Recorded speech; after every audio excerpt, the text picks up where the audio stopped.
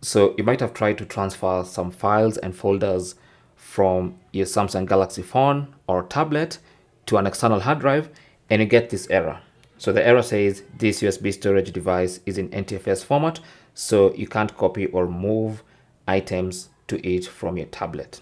Okay, so if you've encountered that problem, that basically is because of the file system of your hard drive.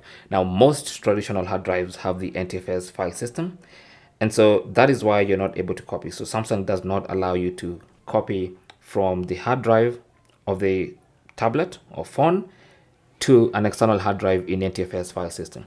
So how do you fix that problem? Now, if you find yourself needing to transfer a lot of files from your phone or your tablet to an external drive, the easiest solution for that is to change the file system. Now, obviously, you might not want to change the file system of the entire hard drive because maybe you need it in NTFS file system. What you can do is what I've done. So if you check here in the storage section, let me just uh, minimize this. You can see I have USB storage 1 and USB storage 2. Now both these two storage locations are in this hard drive because I've partitioned it into two separate partitions and then I've changed the file system of one of the partitions. So as you can see, this is a 524 gig partition, which I uh, partitioned from the entire hard drive.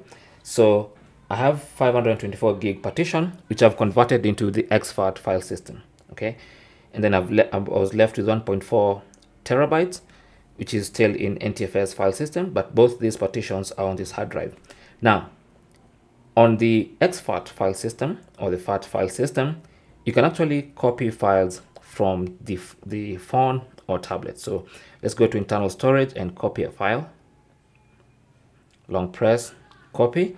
And then now, instead of going to USB storage 1, which is the NTFS uh, file partition, I'll go to USB storage 2, which is the FAT partition. And then now you can see it allows me to copy. So that's how to circumvent that little problem and that's how you can be able to copy files from your Samsung tablet or Samsung phone to an external hard drive and basically circumvent that a little problem.